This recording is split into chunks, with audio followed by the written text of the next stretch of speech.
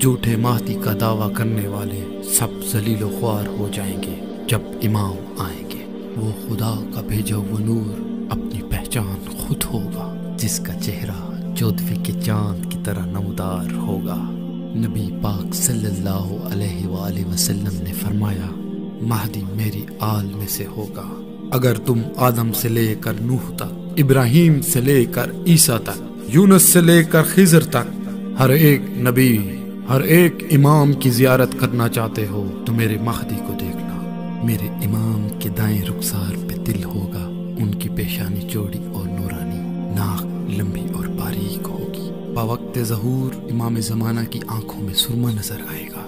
इसके साथ साथ हसीन जुल्फे जो उनके कांधों तक आ रही होंगी बिल्कुल अपने जद मोहम्मद वसल्लम की तरह, इमाम ज़माना की खूबसूरती की तरफ़ इशारा करके मासूमीन से रिवायत है कि इमाम मेहदी जन्नत के मोर है।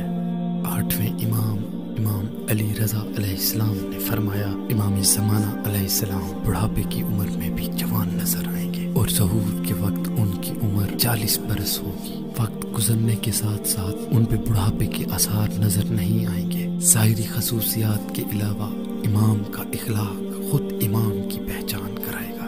इमाम ज़माना अलैहिस्सलाम के पास शेर खुदा इमाम अली अलैहिस्सलाम की जुल्फ़कार होगी और वो शुजात में अपने दादा के बरहक होंगे। इमाम के पास लोग अपनी हाजात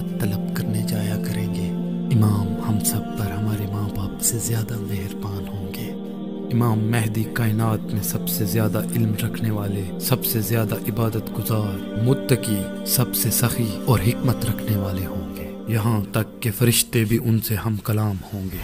बस फिर काबे से एक आवाज़ बरपा होगी। इजा हक वजहक कल बातिला। जब हक आ गया बादल मिट गया। बस ये वही वक्त होगा जब जुल्फ़िकार चौदह सौ साल के बाद मयान से बाहर आएगी। फिर इमाम अपने मजलूम बाबा की कब्र करबला का रुख करेंगे। जहाँ वो कब्र इमाम हुसैन से छह माह के मासूम शहजादे अली असगर का लाशा निकाल कर अपने हाथों पे बुलंद करेंगे। फिर खून हक का बदला लिया जाएगा। बस फिजाओं में एक ही नारा बुलंद होगा। या लसारत अल हुसैन या लसारत अल हुसैन या लसारत अल हुसैन।